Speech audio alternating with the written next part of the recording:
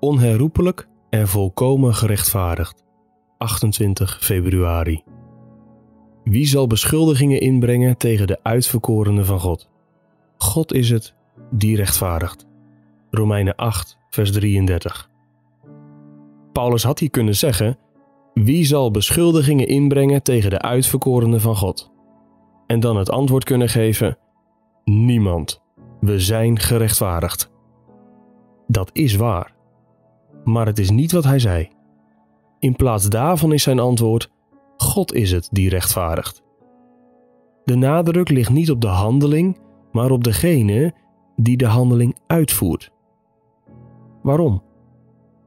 Omdat in de wereld van rechtbanken en wetten, waar deze term vandaan komt, de vrijspraak van een rechter kan worden teniet gedaan door een hogere rechter. Wat als een lokale rechter je vrijspreekt terwijl je schuldig bent? En de gouverneur het recht heeft om alsnog beschuldigingen tegen je in te brengen.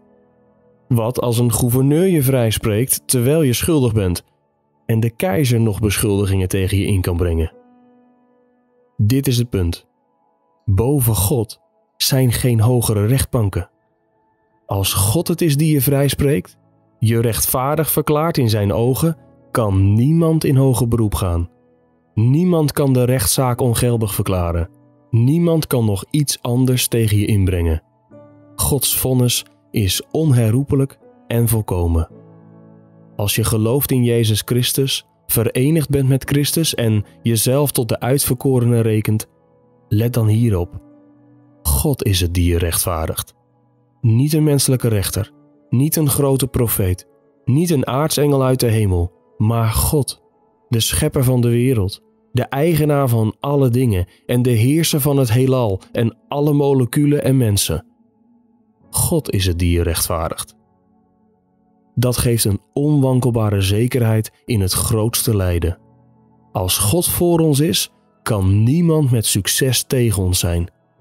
Als God zijn zoon voor ons heeft gegeven, zal hij ons alles geven wat goed voor ons is.